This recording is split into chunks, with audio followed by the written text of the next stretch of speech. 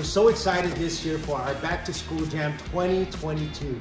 Wow, we've been doing this for nine years.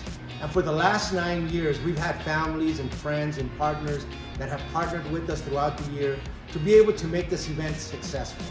We've helped thousands and thousands of families receive relief through this backpack event.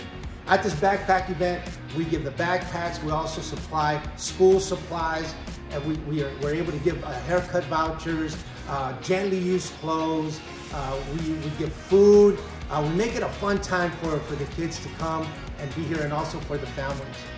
You know, this year we're asking our partners to, to partner with us in giving $45.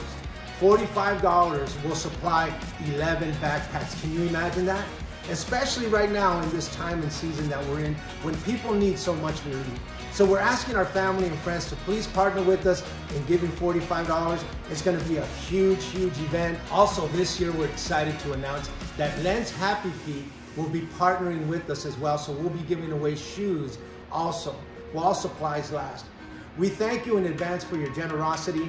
Listen, right here, you'll see the link. If you want to do it through our church app, through Secure Give, you can do it like that. We also have Cash App, which you will see also in the link. And then also we have Zelle to make it easy for our partners to be able to give.